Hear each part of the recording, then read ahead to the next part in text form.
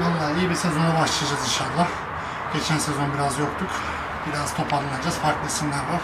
Bugün yeni bir kalecimiz var. Ee, Birkaç takviye daha yapacağız.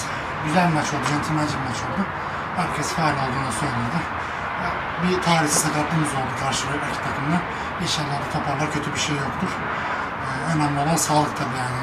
Böyle maçlarda yenmek ve yenmek var ama sağlık biraz daha önemli. Ee, biz biraz takımca takımca oynayıp e, çok böyle teknik olmasak da takımca bir şeyler yapan bir takımız. Defansta biraz e, sağlam oynayıp bulduğumuz rollerle de daha defansif oynayan bir takımız diyebiliriz. İnşallah bunun için de tabii ki maç kondisyonu gerekli. İnşallah bu saatten sonra maç kondisyonumuzu tamamlayıp yolumuza devam edeceğiz.